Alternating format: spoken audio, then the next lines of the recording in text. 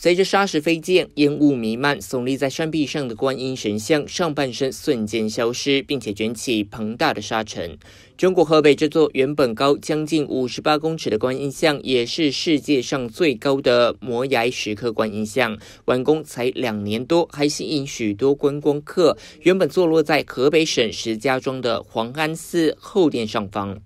不过，即使位处国家四 A 级风景区，这座庞大的观音石像还是难逃遭到拆除的命运。根据知情人士指出，由于中共当局不满信教的人太多，所以中国各地的人们都被禁止拜佛像。一月三十号，中共当局派人到黄安寺景区进行爆破准备工作，还下令当地戒严，禁止民众出入拍照。二月二号正式进行爆破，为了防止观音像被重建，官员还下令将观音石像下半身也彻底铲除。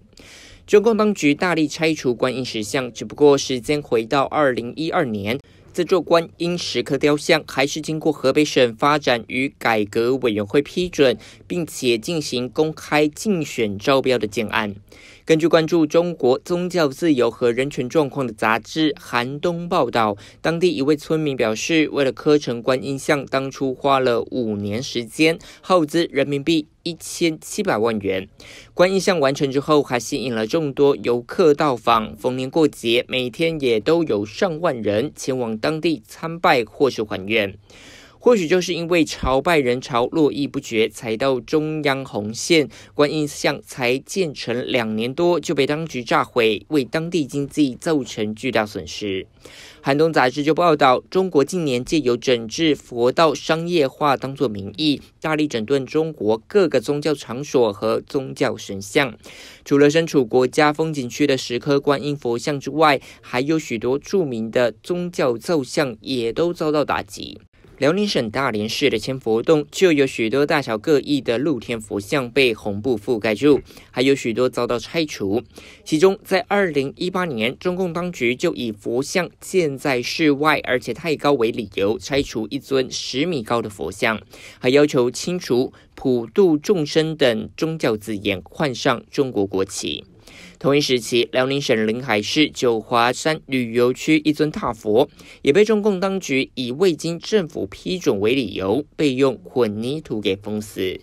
中国不许人民拜神佛，还不惜破坏生态环境，炸毁佛像。就有网友指出，中国就像捣毁叙利亚珍贵古迹的伊斯兰国。中国律师薛洪增也在微博痛批：修路建佛像是破坏山体植被，爆破佛像也是破坏山体，批评中共当局败家。不只是大力拆除佛像，中国近年加大整治宗教力道，还强硬扫荡家庭教会与教堂。同样，根据《寒冬》杂志报道，中国近年也开始推动乡村大喇叭，不断向村民灌输无神论思想以及共产党歌曲。随着中国加大对人民的掌控力道，对宗教的打压也越来越强硬。中国政府持续推动爱党爱国思想，就是不让人信神，只能相信共产党。